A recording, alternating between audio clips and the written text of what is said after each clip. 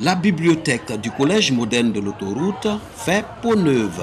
Elle a été réhabilitée et équipée de 300 livres d'anglais et de français. Le don est fait par des bonnes volontés qui apportent ainsi leur contribution à la promotion de la lecture à l'école pour le renforcement des capacités intellectuelles des élèves.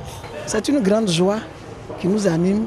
On a aussi un sentiment de fierté parce que nos élèves vont pouvoir profiter de ces livres-là pour améliorer leurs connaissances, pour euh, découvrir de nouveaux horizons, parce que dans, la lecture, on découvre de nouvelles choses, et puis aller de l'avant, améliorer leurs résultats. On a échangé avec les bibliothécaires, elles vont prendre les enfants selon le moment où ils n'ont pas cours. Il y a un emploi du temps qui sera fait et les enfants vont euh, fréquenter la bibliothèque tour à tour.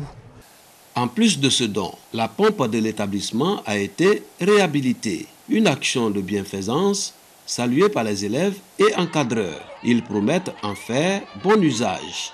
Je suis vraiment heureuse pour que cela puisse nous aider, à moi et à mes amis, de bien suivre les cours.